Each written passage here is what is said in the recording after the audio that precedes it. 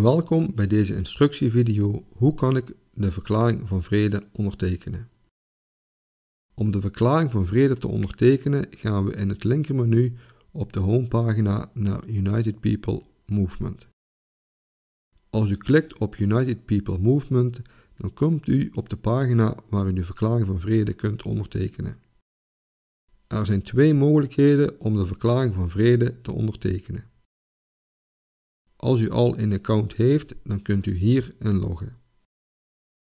Als u inlogt, dan komt u automatisch terug op de pagina van de United People Movement waar u verklaring van vrede kunt ondertekenen. Heeft u nog geen account, dan kunt u een account aanmaken en dat gaat als volgt. U kunt dan dit formulier invullen. Tijdens het invullen van uw gegevens kunt u op het laatst meteen de verklaring van vrede ondertekenen. U begint met je voornaam in te vullen, daarna je achternaam in te vullen, je e-mailadres in te vullen. U selecteert hier het land waar u woonachtig bent.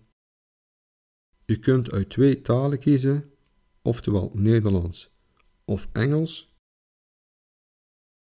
U selecteert uw geboortedatum hier.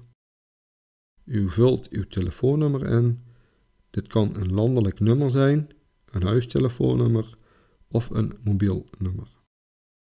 We gaan een wachtwoord kiezen dat minimaal uit 12 tekens bestaat. Daarna bevestigen we het wachtwoord door nogmaals hetzelfde wachtwoord hier in te tikken.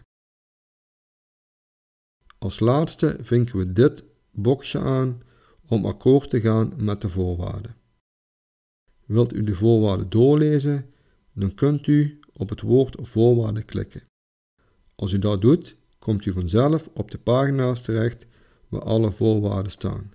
Als u alles heeft doorgelezen en u gaat akkoord, dan kunt u de verklaring van vrede ondertekenen door op het knopje te klikken Ondertekenen van de verklaring van vrede.